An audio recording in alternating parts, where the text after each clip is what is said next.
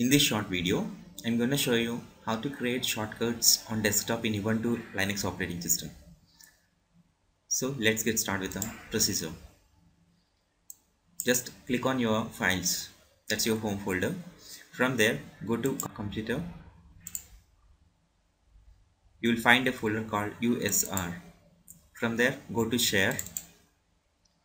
From there, we need to open applications folder in this applications folder you will find all of your installed applications in your ubuntu operating system.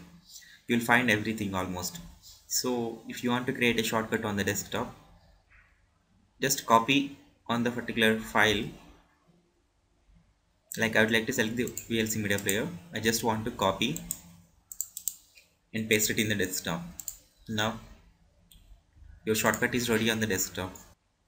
You can also choose copy to select the desktop click on select. That's it. All of your applications can be accessed from the desktop only.